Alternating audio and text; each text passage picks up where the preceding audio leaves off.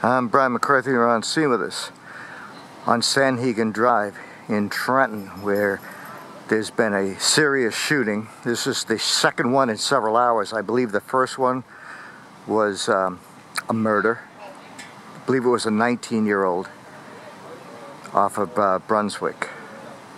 Let's see what's going on here.